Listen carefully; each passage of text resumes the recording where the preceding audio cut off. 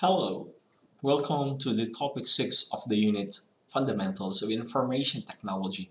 And for this week, we're going to discuss chapter 14 of the book Computer Fundamentals entitled Operating Systems.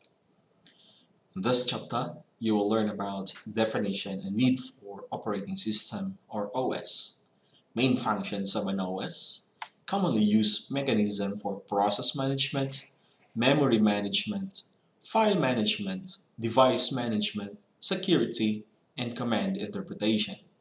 And you will learn also some commonly used OS capability enhancement software and some popular operating systems. Let's proceed to the definition, needs, and functions of an OS. What is an OS? Stated here, integrated set of programs that controls the resources. What are these resources that we're talking about? We have the brain of the computer, the CPU, the memory. Take note that we have two types of memory. We have primary and secondary memory. I.O. devices and other registers of a computer system. And also OS provides its users with an interface or virtual machine that is more convenient to use than the bare machine. So an OS acts as an interface or lies between the computer hardware and the computer user so that the data can be manipulated that will become information. And we have two primary objectives on an OS. First one, making a computer system convenient to use. And second one, managing the resources of a computer system. Have a look with this uh, diagram. It shows the logical architecture of a computer system. We have the computer hardware and lies between computer hardware and software application is the operating system. So you need to install an operating system and computer hardware so that other system software and application programs can be used by the users. So operating system layer hides details of hardware from programmers and other users and provides them with a convenient interface for using the system. So without an operating system, computer hardware cannot be manipulated by the users. So what are the main functions of an OS? We have here process management, memory management, file management, device management, security, and command interpretation. So let's discuss one by one what is this process management all about. But before discussing process management, let us learn first what are the parameters for measuring system performance. So we have here the term throughput. It refers to the amount of work that the system is able to do per unit of time. The other parameter is known as turnaround time. So it refers to the interval from the time of submission of a job to the system for processing up to the time of completion of the job. And another term here is response time. It refers to the interval from the time of submission of a job to the system for processing up to the time the first response for the job is produced by the system. So take note of these terms. These are the criteria or parameters how to measure system performance. Let's proceed to the process management, the first function of an OS. So process is also known as job. It is a program in execution.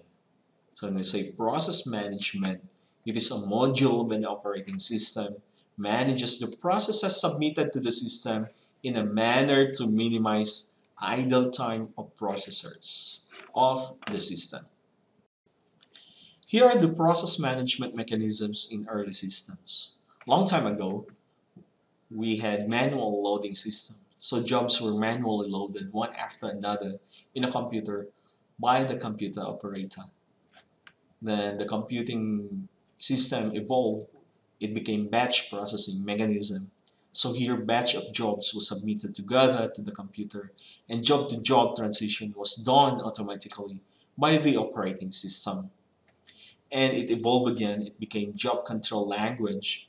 So here control statements were used to identify a new job in a batch of jobs and to determine its resource requirements. So an example here in a job control statement in batch processing is the programming language known as COBOL or Common Business Oriented Language. So there will be a sets of job statements to be loaded and the instructions will be by batch processing. So we have a term uniprogramming when it's a uni 1. So in the main memory, the first will be occupied by the operating system and another part of it will become user job and the CPU. So let's discuss this uniprogramming. So a uniprogramming, a job does not need CPU for the entire duration of its processing so what happened here? Depending on CPU utilization during the course of processing, jobs, there will be two types. So we have CPU-bound jobs. So when you say CPU-bound jobs, which mostly perform computations with little I.O. operations. But if the job will become I.O.-bound jobs, which mostly perform input-output operations with little computation. So here in uniprogramming system, CPU will become idle whenever the currently executing job performs I.O. operations. So we have another term here, multi-programming. Multi means many, two or more programming. So multi-programming is interleaved execution of two or more different and independent programs by a computer. So that in multi-programming enables two or more user programs to reside simultaneously in the main memory and it will carry out their interleaved execution. So with multiple user programs residing simultaneously in main memory, whenever a user program that was executing goes to perform input-output operations, the operating system allocates CPU to another user program in main memory.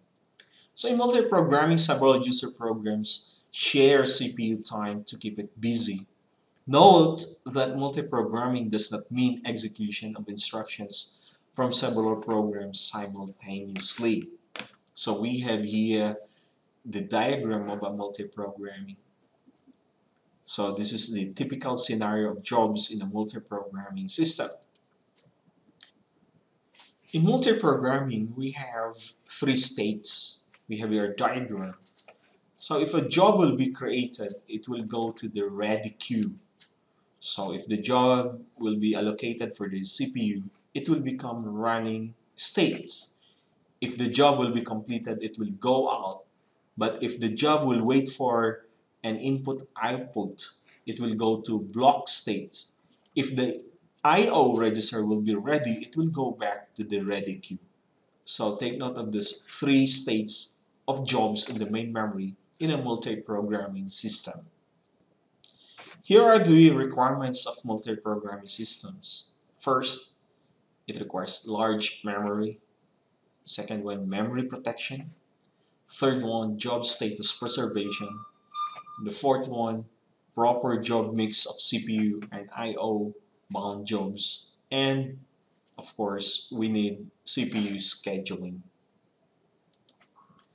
There's also the process control blocks in process management this blocks will have the process identifier, process state, program counter, values of various or different CPU registers, accounting and scheduling information, and I.O. status information. So what is the purpose of this PCB? It is used to preserve the job status of each loaded process in a multi-programming system.